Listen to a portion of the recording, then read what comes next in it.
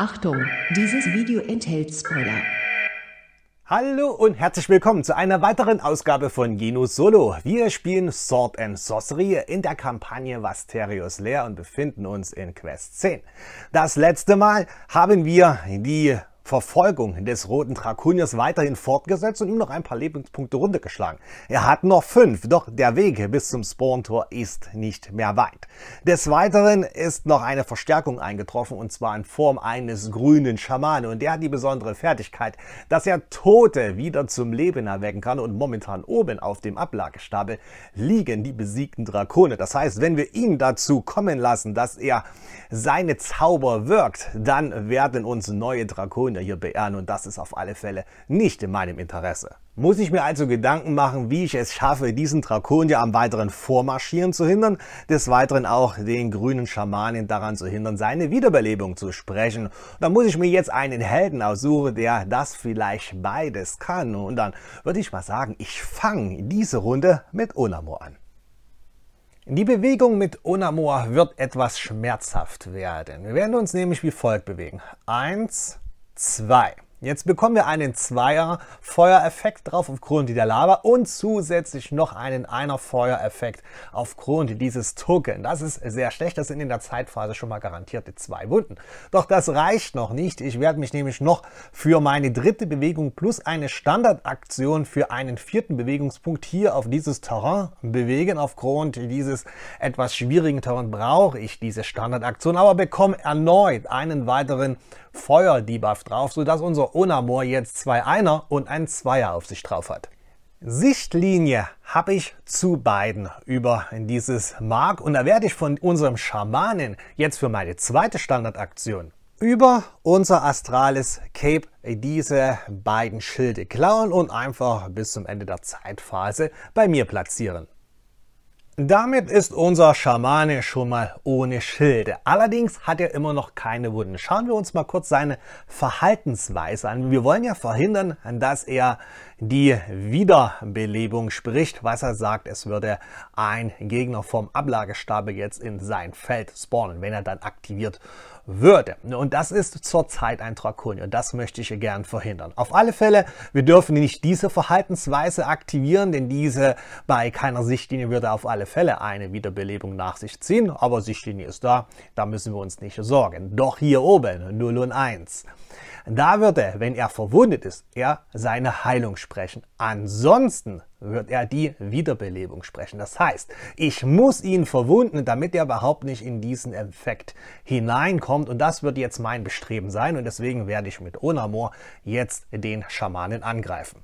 Dafür benutze ich sein mystisches Zepter, doch nicht die normale Version der Seelenwaffe. Ich möchte nämlich diese Seelenwaffe noch aufwerten. Kostet mich zwei Seelen, komme ich jetzt runter auf 39 Seelen, aber das ist vollkommen egal. Ich habe nämlich noch einen zweiten Effekt über dieses Zepter, denn ich habe jetzt einen Flächenangriff, der ein Feld weitergeht. Und dann erwische ich mit diesem Angriff sogar noch den roten Drakonier gleich mit. Vorbereiten kann ich den Kampf leider nicht mehr. Beide meiner Standardaktionen habe ich schon verbraucht, aber ich mache wenigstens schon mal zwei Schaden direkt und darf mit drei blauen und einen roten Würfel werfen. Er hat die Spirit Protection. Wenn er einen Gremlin wirft, ist alles das für die Cards, außer der Flächenangriff. Den würde ich über das Blitzsymbol auch noch auf den roten Drakonier wirken. Aber machen wir erstmal den Schamanen. Da haben wir schon mal das Blitzsymbol, das ist sehr gut. Und haben noch 1, 2, 3 Treffer und zwei Pentagramme. In Summe also fünf Treffer. Rüstungen können wir ignorieren, aber der Schamane hat keine Rüstung. Versuchen wir erstmal jetzt hier die Verteidigung. Gremlin braucht er, er hat kein Gremlin, somit funktioniert seine Spirit Protection nicht.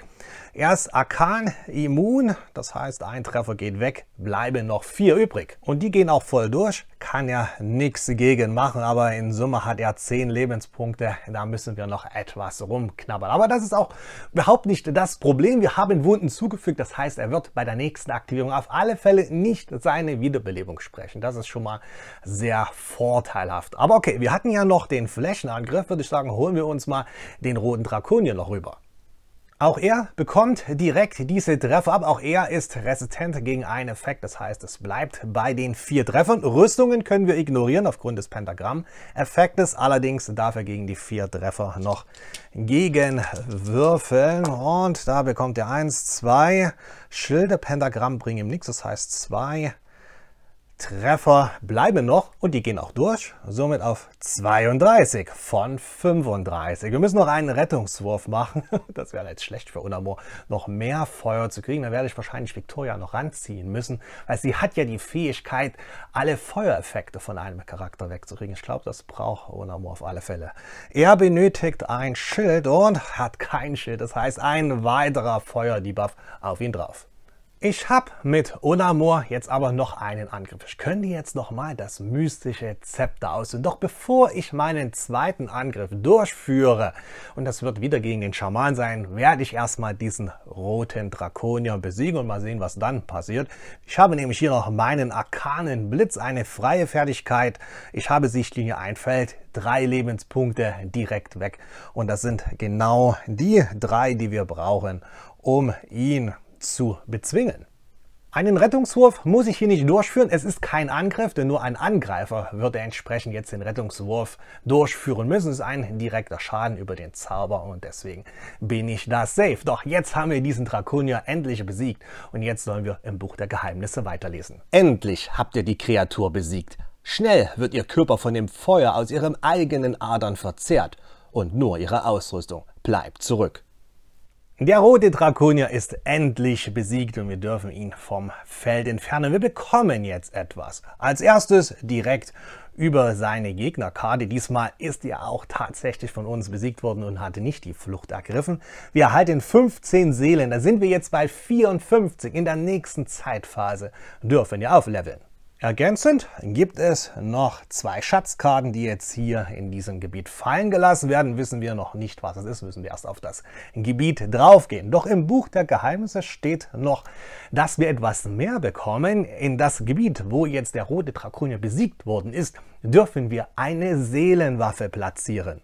In unserem Pool an möglichen Seelenwaffen gibt es noch die vier Stück. Beachtet dahingehend, dass ihr Seelenwaffen nur verwendet, die auch für eure Helden überhaupt nutzbar sind. Also Seelenwaffen, die eure Helden, alle die im Spiel daran teilnehmen, nicht verwenden könnt aufgrund der entsprechenden Runen. Die werden hier nicht mit in die Auslage genommen. Wir haben Magieböcker, wir haben die Dexterity-Rune, wir haben hier die Dexterity-Rune und wir haben hier die Glaubensrune. Dann haben wir eins, zwei, drei, vier. Das Ganze machen wir zufällig bei einem vierseitigen Würfel und da haben wir die drei unten stehen. 1, 2, 3. Das bedeutet also, diese Seelenwaffe wird jetzt in dem Gebiet des Roten Drakoniers fallen gelassen. Da liegt somit jetzt einiges, was wir einsammeln sollten. Doch wir sollen noch weiterlesen im Buch der Geheimnisse. Wenn wir den arkanen Schlüssel noch nicht hätten, dann würden wir jetzt einen bestimmten Passus lesen, doch den haben wir ja schon mit unserer Samyria und das heißt, wir lesen jetzt einen anderen Passus und da passiert jetzt Folgendes.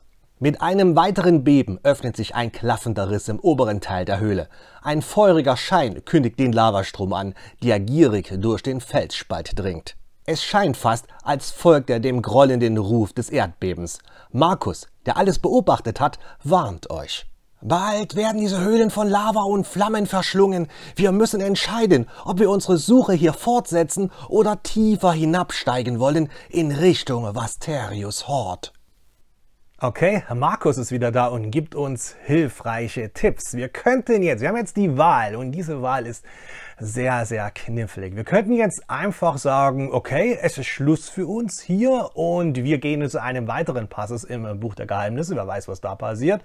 Oder wir könnten noch weiter die Höhlen durchsuchen. Das hat aber ein, eine gewisse Konsequenz. Und zwar sollen wir das Story Event 3 nehmen und jetzt hier in diesen Kartenstapel, den kompletten Kartenstapel hineinmischen und so lange spielen, bis wenn dieses Story Event auftaucht und dann abhandeln, was dann passiert.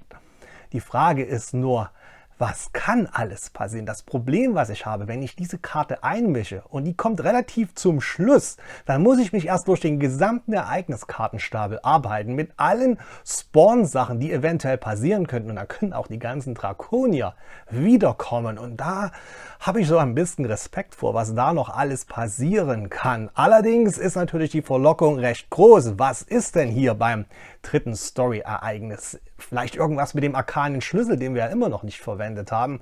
Ich habe keine Ahnung. Doch aber ehrlich gesagt, ich möchte so langsam Richtung Vasterios kommen und tatsächlich auch wenn der ein oder andere vielleicht mit meiner Entscheidung jetzt nicht leben kann, ich möchte diese Sache nicht anwenden. Das heißt, ich möchte mich jetzt nicht durchs gesamte Ereigniskartendeck arbeiten, um bis zu dieser Karte zu kommen. Wer weiß, wann das Spiel jetzt noch endet. Das heißt, ich werde den anderen Effekt nehmen und werde mich weiter Richtung Vasterios Hort begeben und muss jetzt den nächsten Passus im Buch der Geheimnisse lesen. Ihr entkommt den Lavastrom, zumindest für den Augenblick. Markus rät euch ein letztes Mal zu rasten und euch auszuruhen. Auch wenn Vasterius euer Eindringen bisher nicht bemerkt hat konnte noch nie jemand die schwarze Königin im Kampf besiegen. Ja, liebe Freunde, und jetzt ist es doch schneller vorbei, als ich gedacht habe. Ich habe tatsächlich gedacht, ich muss noch irgendetwas machen, noch irgendwas mit dem magischen Schlüssel tun. Das muss ich auch machen, und zwar, ich muss diesen magischen Schlüssel jetzt einfach von der Quest entfernen.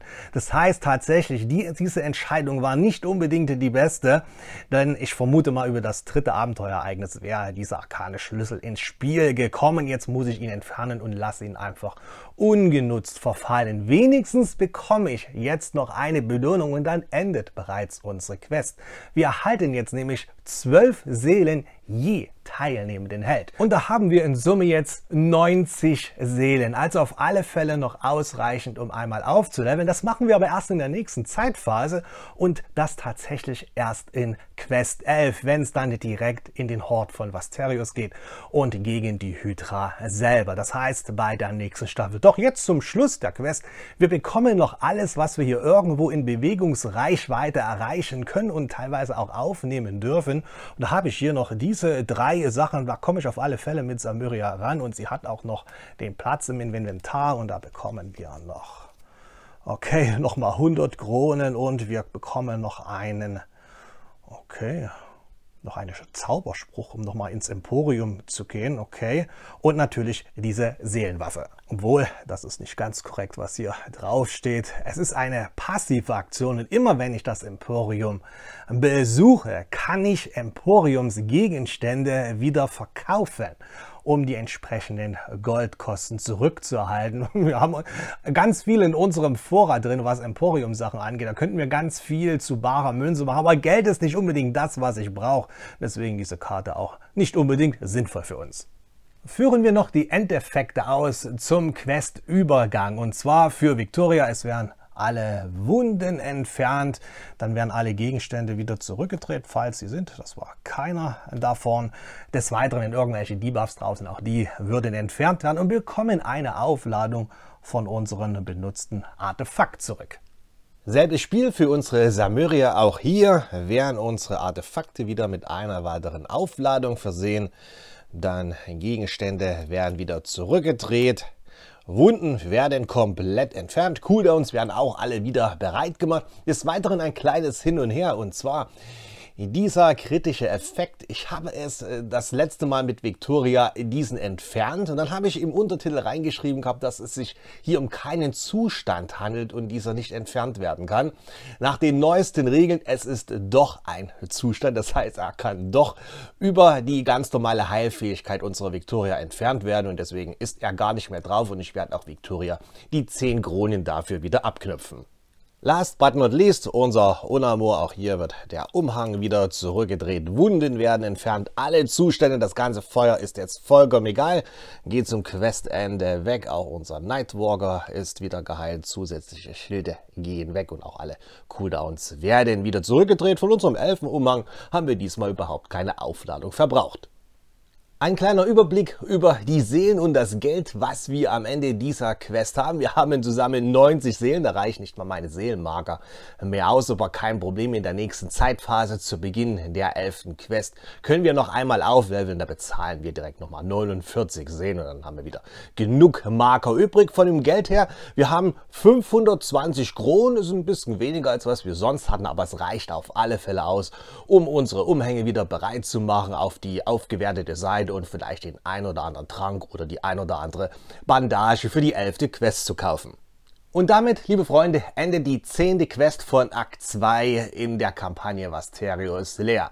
Nur noch eine Quest steht uns bevor, die ultimative Begegnung gegen Vasterius selber. Ich denke mal, wir sind bereit. Unser Equipment ist meines Erachtens recht gut. Wenn wir die nächste Zeitphase überstanden haben, dann kriegen wir auch noch unseren letzten Charakter in den siebten Seelenrang, sodass wir auf Maximum Level sind und auch dadurch gut gerüstet für die Begegnung mit der Hydra. Als Zusammenfassung für Quest 10, okay, wir haben es nicht geschafft, einen Schlüsselloch für unseren arkanen Schlüssel zu finden und wir mussten jetzt sogar diesen Schlüssel abgeben. Das heißt, wir hätten nur hier in dieser Quest irgendwo diesen Schlüssel einsetzen nutzen können.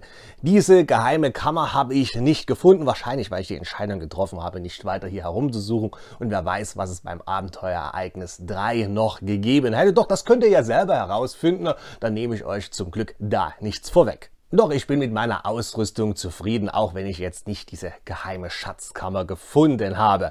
Nächstes Mal, wenn Sword and Sorcery wieder auf den Tisch kommt, dann geht's direkt zur Hydra, zur letzten Quest. Da bin ich schon mal gespannt, was es da für ein Abenteuer zu erleben gibt. Und ich hoffe, ihr seid dann wieder mit dabei und habt ein wenig Gefallen an dieser Reihe. Wenn ja, hinterlasst mir doch einfach einen Daumen nach oben, empfehlt mich weiter, abonniert den Kanal, das hilft mir immer. Und dann wünsche ich euch alles Gute, habt Spaß am Spiel, bis zum nächsten Mal. Euer lige nu.